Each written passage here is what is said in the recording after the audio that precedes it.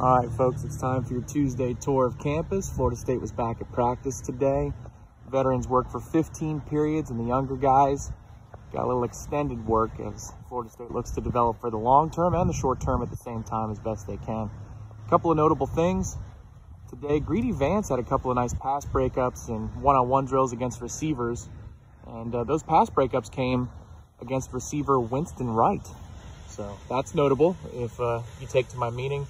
Wright continues in his rehab process, according to Mike Norvell, but he's taking steps and he's getting closer. Norvell also commented that defensive tackle Fabian Lovett was close to participating against Clemson. He just could not get enough work in for it to be fair to Fabian. The guy who stood out for me today, Joshua Farmer. A couple of outstanding reps and individual work towards the end of their one-on-ones with offensive linemen. And then in 11 on 11, he was a monster.